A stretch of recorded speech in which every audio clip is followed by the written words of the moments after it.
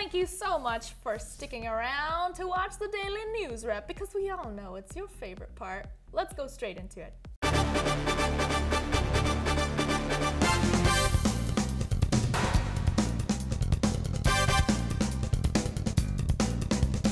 Hello and welcome to the Daily News Wrap.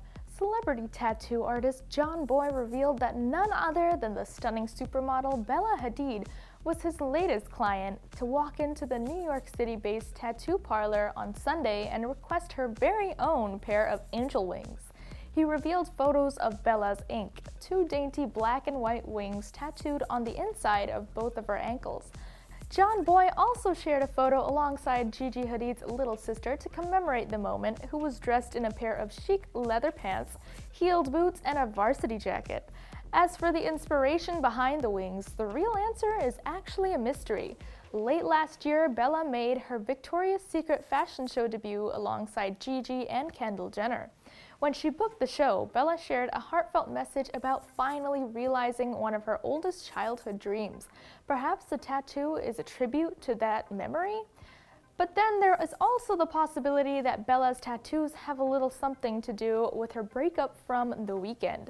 The longtime lovebirds went their separate ways in November, and she's feeling some type of way since the R&B singer was spotted getting cozy with Selena Gomez. She went out of her way to unfollow Selena on Instagram. Bella also posted a photo of herself giving the middle finger to the paparazzi. And now this tattoo? The whole Selena and the Weeknd ordeal is hilarious as well, simply because the whole world is talking about the photos of the Weeknd with Selena Gomez, standing in what seems to be a parking lot of sorts, and the photo clearly shows some type of a kiss. However, the photos that nobody is talking about is those that show the Weeknd wiping Selena's kiss off his face the second she turns around. Now that's pretty funny for a guy who spent his first two albums going on about his love for prostitutes. No shade intended, but if there was some shade, so be it. More details are arising from the Kim Kardashian case. A French journal published what seems to be a full transcript from the Keeping Up with the Kardashians show, where Kim gives a verbal statement of what happened to her. She had been in Paris for Fashion Week. According to the report, Kim told authorities that the robbery took place at 4.30 a.m. while she was wearing nothing but a bathrobe. She said that while her sister Kourtney Kardashian and her assistant changed clothes, she went to her computer upstairs and was working. She said that she then heard noises at the door, like footsteps, and asked who it was there. No one answered and she called her bodyguard just before 3 a.m. She then saw two people through the sliding door, including a man of the reception who was tied up.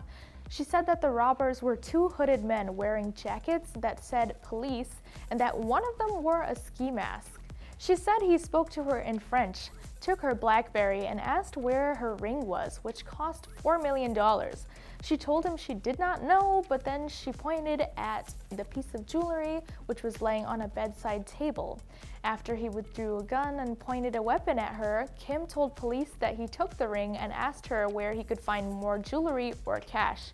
According to the report, Kim told police the robbers had pushed her onto a bed and emptied her purse, which was lying next to a jewelry box that contained two diamond Cartier bracelets, a Lorraine Schwartz diamond necklace, diamond earrings, gold Jacob necklaces, a gold Rolex watch, and a diamond necklace that read Saint, which is the name of her and Kanye West's son, and other pieces. They tied her up with plastic cables and taped her mouth shut and used tape to bind her legs. They then carried her into the bathroom and put her into the tub. Kim also told police robbers did not take her cash, but did make off with her iPhone 6 and Blackberry. She said after they left running, she removed most of her constraints and ran to her friend's room, from which she called Kourtney. She said she was not injured and would like to file a complaint. When asked if she had anything else to add, Kim reported that she would like to leave and return to her children in the United States, adding that she had a private plane waiting for her. Well, we do hope that this case continues to unravel itself so justice can be served. And that's all for today's Daily News Wrap. Thank you so much for watching The Vibe, and I hope that you are able to ward off any evil eyes that come your way. Yes. And that you learned a little bit about being environmentally conscious, especially when being a tourist, because it's so important. Catch us tomorrow for another episode of The Vibe, and it's with our super special guest, Serene Serene Singh. If you're addicted, like you care wh- how I guess much there are levels of what. addiction. Yeah. I'm passionate about it, yeah. But that I doesn't mean I can't go without it because I did. Would you be able to delete all of your stuff? Yeah. Facebook, Instagram, for how long? Do you want me to literally tell you the story? Because that's what it's us. leading No, up it's not. It's not a story time. It's just like can